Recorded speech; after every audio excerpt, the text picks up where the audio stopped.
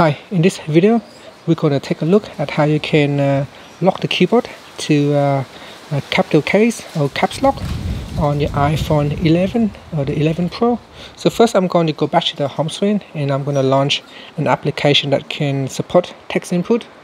Now in here this will bring up the keyboard.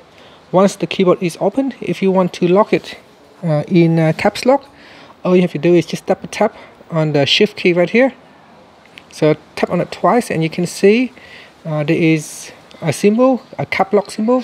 This is the cap lock symbol right there uh, with uh, a line underscore the arrow. Now we can uh, start to type in capitals.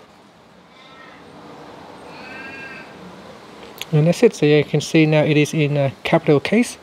And uh, once you are finished with the capital case, you can tap on the shift key again to go back to a normal keyboard. And that's it. Thank you for watching this video. Please subscribe to my channel for more videos.